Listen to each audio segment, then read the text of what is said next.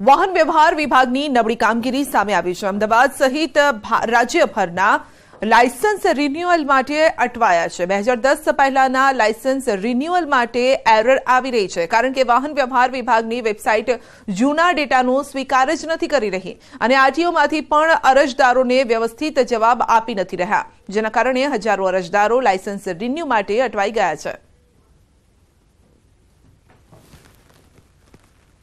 પણ અત્યારે હાલ એવી કોઈ પણ એન્ટ્રી કરવા જઈએ તો એવું ચોખ્ખું લખાઈને આવે છે કે ભાઈ બેકલોગ માટે પબ્લિક માટે અત્યારે એલાઉડ નથી.